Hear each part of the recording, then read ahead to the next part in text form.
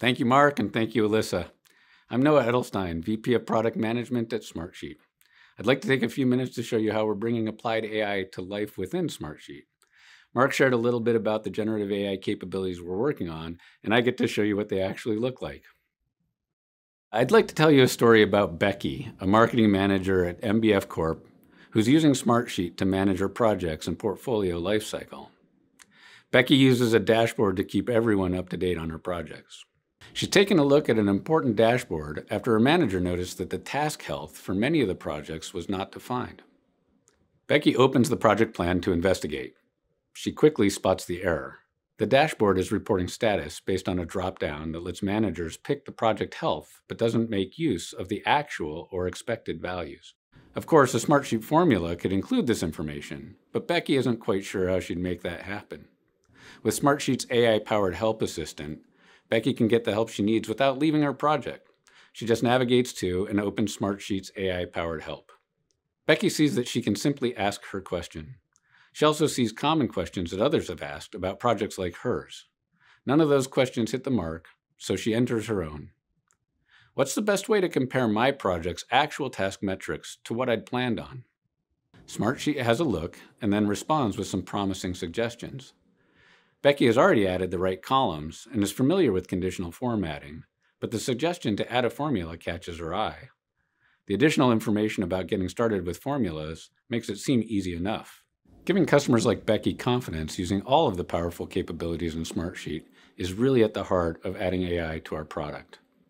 We want everyone to get faster outcomes without having to step away from the actual work. Becky clears the existing values in the project health column and right-clicks to generate a new formula.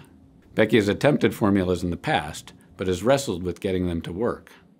Just like with AI-powered help, she sees that Smartsheet is letting her use her own words to describe what she wants, as well as offering some suggestions based on her very own project. She gives it a go and asks for a formula that will show if a project is within, below, or above estimates using the other data in her project. Smartsheet's AI platform goes to work and very quickly creates a formula for her. Becky sees that the formula is available in her new health rating column, but wants to understand it a little better before she starts using it. The formula itself is hard to understand, but Smartsheet gives her a simple explanation of what the formula actually does. The result looks good, so she decides to add it to the rest of her project. Becky no longer has to rely on people picking health status from a dropdown. It's actually calculated and always up to date. But it does make her wonder, is our project actually on track? Enter the new AI Sheet Insights. Becky is again able to use her own words to ask her question, how's my project's health looking this quarter?